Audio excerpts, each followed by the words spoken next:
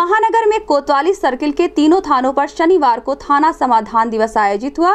इस दौरान थाना प्रभारियों ने थाने पर आए हुए फरियादियों की समस्याओं को बारी बारी सुना, संबंधित को न्याय संगत त्वरित कार्रवाई करते हुए शिकायतों का संज्ञान लेते हुए दोनों पक्षों को सुनकर गुण दोष के आधार पर संबंधित को गुणवत्तापूर्ण निस्तारण करने हेतु कड़े निर्देश दिए।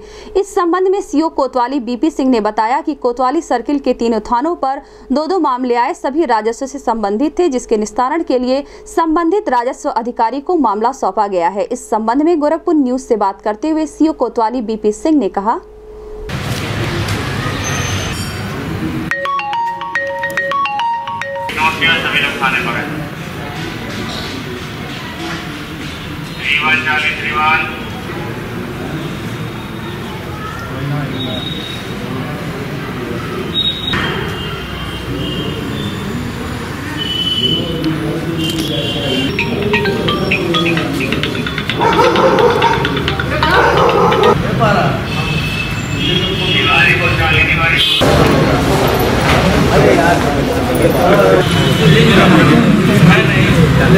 निवेदन है कि पक्षों के बीच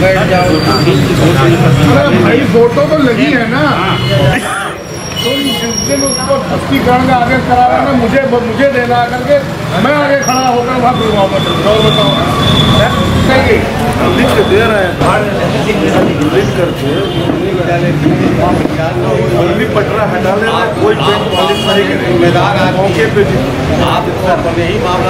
सर्किल कोतवाली के थाना तिवारीपुर थाना राजघाट थाना कोतवाली सभी थानों में लग एक बजे तक दो दो प्रार्थना पत्र आए थे। इसके बाद आवेदकगणों की संख्या नहीं थी।